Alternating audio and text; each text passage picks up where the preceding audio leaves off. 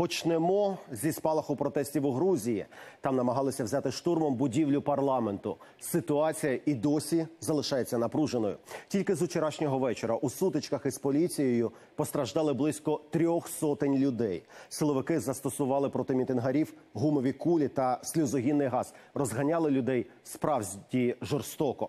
Що стало причиною протестів та чому ці події можуть круто змінити політичні розклади в Грузії, з'ясовували мої колеги.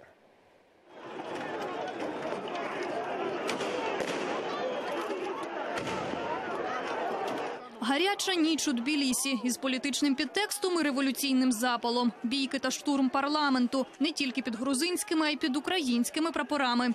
І жорстка відповідь силовиків. Постраждалих понад дві сотні, затриманих ще більше. А все почалося через російських делегатів. Вони прибули на міжпарламентську асамблею православ'я, яка мала відбутися у стінах грузинського парламенту, та закінчилася на вступній промові. Бо виголосити її взявся депутат думи від комуністів Сергій Гаврилов із крісла спікера. Грузинська опозиція обурилася, мовляв, це наруга над парламентом.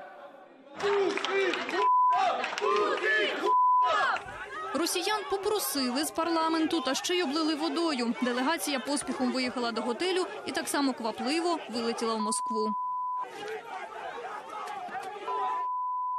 Тим часом на вулицях на заклик опозиції почали збиратися мітингарі із антиросійськими гаслами. Розлючені, що росіяни, які окупували їхні території, Абхазію та Південну Осетію, досі так вільно почуваються в Грузії.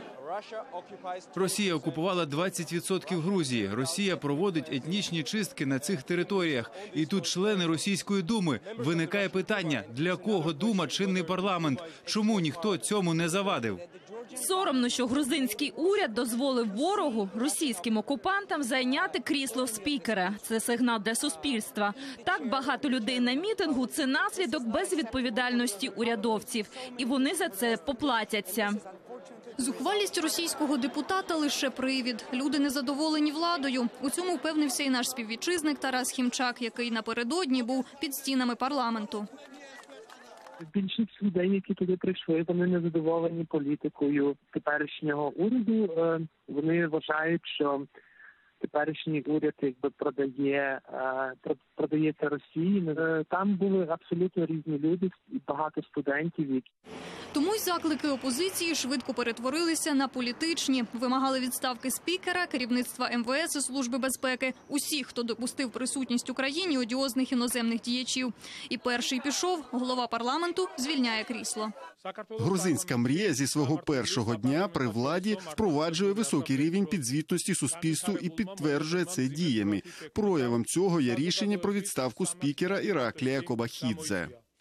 І при цьому провладні політики усю відповідальність за насилля покладають на опозицію. Деструктивні політичні сили скористалися щирим протестом нашого народу і вийшли за межі закону. Реваншистська опозиція організувала насилля. Поліція діяла відповідно до закону, захищала державу та суспільство. А президент Грузії Саломе Зурабішвілі взагалі назвала протестувальників п'ятою колоною Москви.